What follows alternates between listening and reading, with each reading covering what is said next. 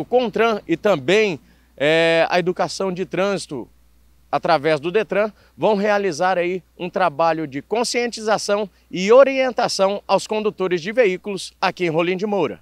Segundo Cidinha, assessora interina da Educação de Trânsito do Detran, é necessário e urgente esse trabalho de orientar e conscientizar os condutores, já que além de registros de vários acidentes, vidas estão sendo ceifadas por um momento de distração ou desrespeito à lei de trânsito uma parceria para trabalhar aí no trânsito de Rolim de Moura.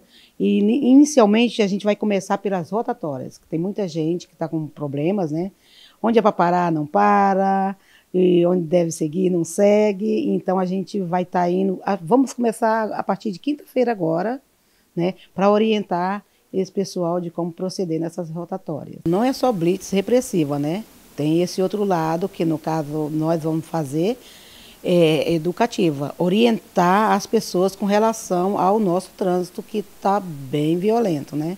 Ninguém está mais parando, nas preferenciais estão avançando, né? Outro trabalho paralelo que a educação de trânsito irá realizar é o Respeito o Meu Espaço, voltado para conscientização para pedestres e ciclistas. Esse ano nós temos muita coisa também para trabalhar, inclusive com pedestres e ciclistas também, né? Que está difícil aqui.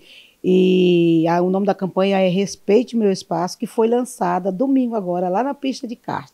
Um dos pontos cruciais aí do trabalho de conscientização e orientação são as rotatórias aqui em Rolim de Moura, que têm sido os pontos cruciais de registros de acidente, inclusive com vítimas fatais. As imagens são dele, Gustavo Henrique, Anderson Gonçalves para o jornalismo da SIC TV.